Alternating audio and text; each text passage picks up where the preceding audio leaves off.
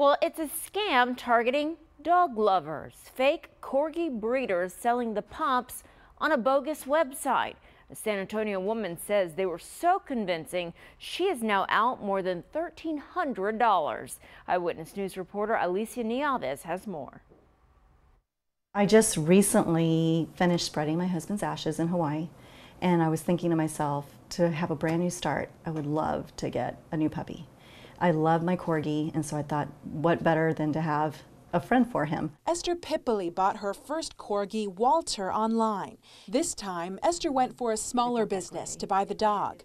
Surfing online, she came across purebreedcorgipups.com. The website looked extremely legitimate. Uh, the people were very friendly, asked a lot of questions. There were emails that went back and forth. The company said it was based out of Atlanta, Georgia. Look at that face. We were real excited about it and then the shoe dropped. The company sent over an adoption agreement requiring Esther to do a Walmart to Walmart money transfer of $800 to pay for the dog and the delivery to her house. Received confirmation from them that they had received payment, that they were going to put the puppy on a plane on Monday. So it was happening fairly quickly. And this is the dog that we actually were trying to purchase, Zola. The next morning, after receiving what appeared to be a flight itinerary for the dog, the company contacted Esther again telling her a vet suggested a temperature controlled crate during flight.